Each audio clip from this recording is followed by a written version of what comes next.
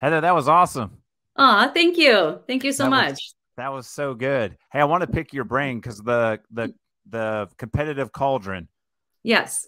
How did you? Because I I so I coach um, high school boys, Okay. and I've thought about doing something like that. And you know, you look at Anson Dorrance and some of these other things, but I just never have found the right fit.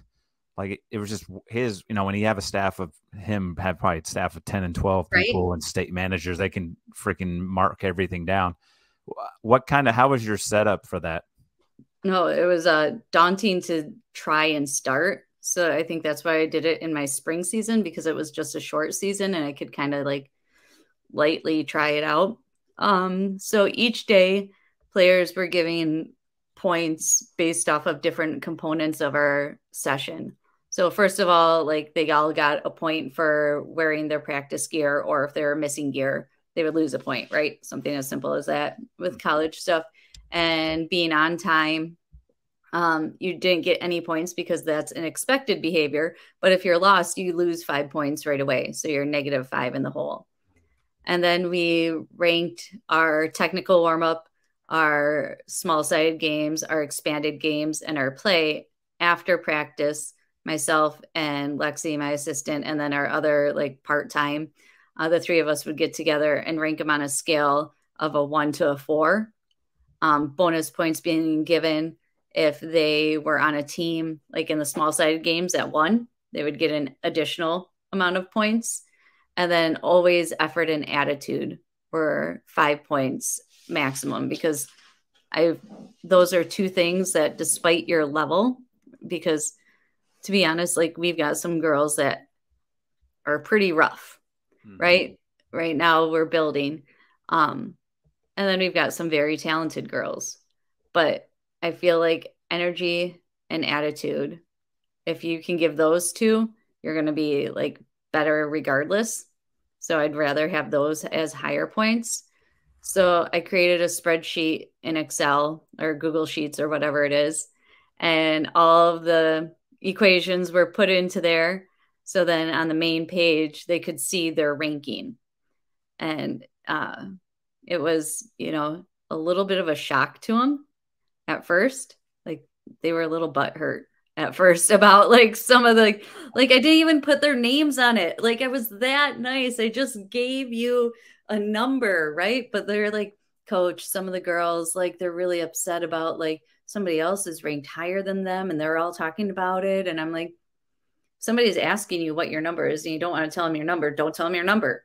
Uh-huh. Like this isn't to be competitive with everybody else. This is com- to be competitive with you. So like ignore all the bullshit around you and you know like you know, just worry about where your number was at last week compared to this week and are you getting better? They're like, "Oh." I'm like, "Yeah, it's not based off of like playing time or anything like that. This is just for you." Like so we did things like that. Um I just found that since my practice structure is so similar in the general layout and format every day of doing the technical warm up, the small sided games.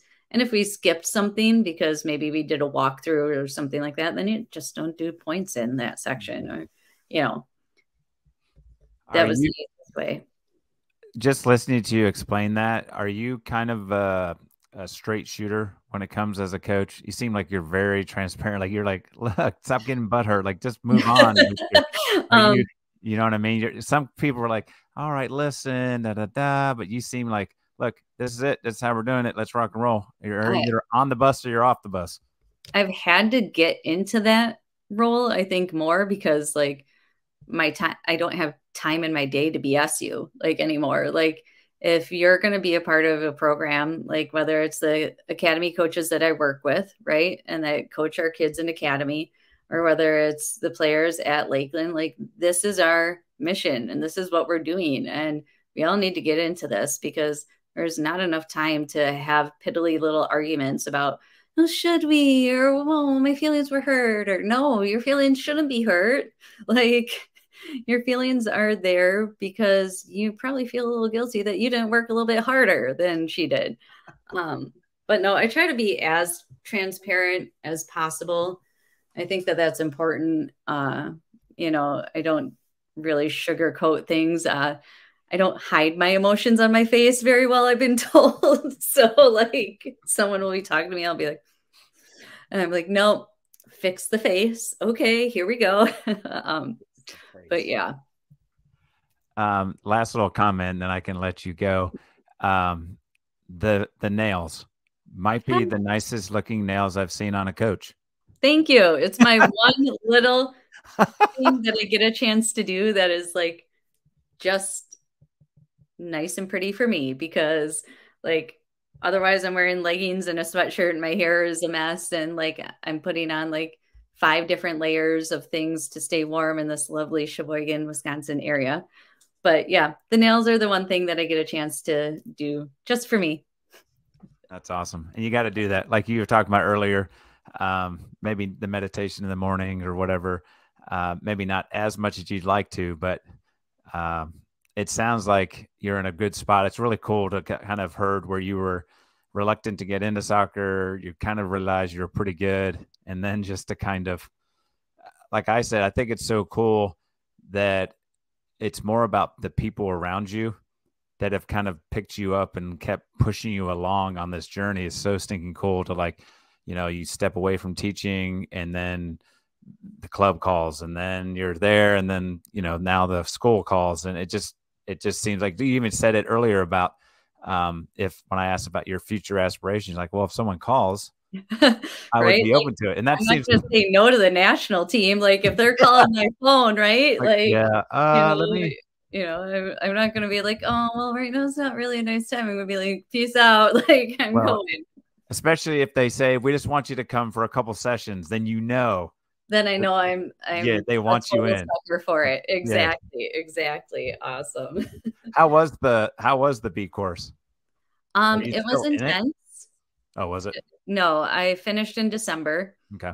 Um, you know, looking back at it, like I said, doing it in the fall of my first fall of coaching. Yeah, that's a lot. Was a lot, but it was probably good for me because it made me look at things through a higher level lens than what I had been at like club. So it was good. It was intense. You know, the biggest thing I always get out of those things is the people that I get to work with and get to connect with. And I wasn't able to do the one in Rockford, so that I uh, went out to the Kansas City one, and what that was cool because it wasn't even like clubs that I normally had a chance to work with. Right? It was, you know, um, Kansas City Sporting, it was a lot of rush guys, you know, so a lot of guys from different areas that I normally don't get a chance to talk to and get to know. And it it helps me with connections. You know, it's pretty cool to see the soccer community like grow and connect and you run into people later on and you stay in touch. But um, I'd recommend doing it. I'd recommend definitely making sure that you know it's going to be a couple of nights of course calls a week with a couple of nights of group calls for projects and then probably some hours of doing work on your own too. But yeah. That's awesome. If you're thinking about it. Well, I've got my D. Okay. I'm just like stuck there. I just don't know if I want to go and put the time and money into um because I don't really have any aspiration. I mean, I'd love to go maybe to the college game one day or something, but yeah, I just I feel like not everyone's blessed. Like your opportunity just to go straight into like the head coaching thing is pretty, right? pretty cool. Um, mo- cool. you know, a lot of people go into assistant and they're just kind of there, and then you have to go bounce somewhere else, and um, just kind of like where my where I am, my family's at, you know, in terms of my kids are at an age where they're starting to go off to college and all that kind of stuff. We're kind of settled. Yeah. Um, but I always love learning. And every time I talk to people, when I listen to that, I'm like, oh man, that'd be so cool to talk to other coaches and hear what they're doing and work with other players that aren't from this area and all of that. So, yeah, I I laugh because people are like, so when are you getting your A? It's almost like when you have when you have a kid and then all of a sudden they're like, when are you having your next kid? Right. and you're like, I just had this one here. Like, yeah. Um, let me, let me apply this stuff. Let me kind of, I need some time to digest what the heck I just got you know, overwhelmed with. And then if that opportunity comes, I do want to get into the educator course series. I feel like, you know, I was talked to a little bit about that and listened in a little bit on what all that would entail. And with my teaching background, I'm like, well, duh, that makes like mm-hmm. total sense. But, you know, my boyfriend and director of coaching here was like, Heather, when are you going to do this? And I'm like, but it's such a cool opportunity. like, I can't voice. say no to soccer. That's my curse. That's the voice of reason. Right, exactly. And whoa, whoa, hold up. Someone's yeah. let's reel it back in a little bit. But that's yeah. so cool. I just love it because going from, you know, introverted, to, you know, dealing with whatever you were going through, it just eh, like we all do when we're growing up, to oh, now yeah. it's talking about I'd love to go in front of other coaches and lead them and make them better coaches. And uh, that's so awesome to see that kind of like full circle growth.